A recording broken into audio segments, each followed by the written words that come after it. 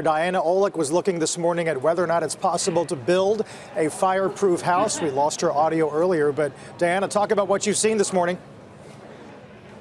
Absolutely, and we got it back. Look, you can see that one side burned, they put the fire out, the other side did not, and here's why. It's because of technology, design, landscaping. Instead of mulch, they had rocks. They had six inch gap between the landscaping, the ground, and the house itself. They also used concrete fiberboard as the siding, and you can actually get that to look like wood.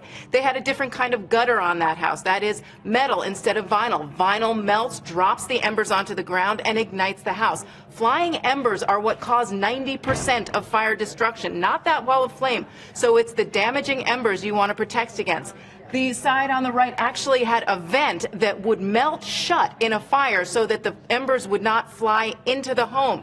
And on the roof, again, those embers flying in and catching down. So you can, in fact, put these design components into a house and save a house. You can't make a house entirely fireproof, but you can make it fire resistant.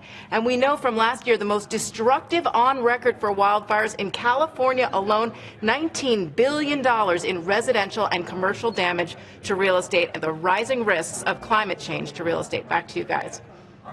major implications uh, for home builders and consumers uh, and the planet, arguably, according to some. Uh, great work, Diana. Uh, Diana Olick.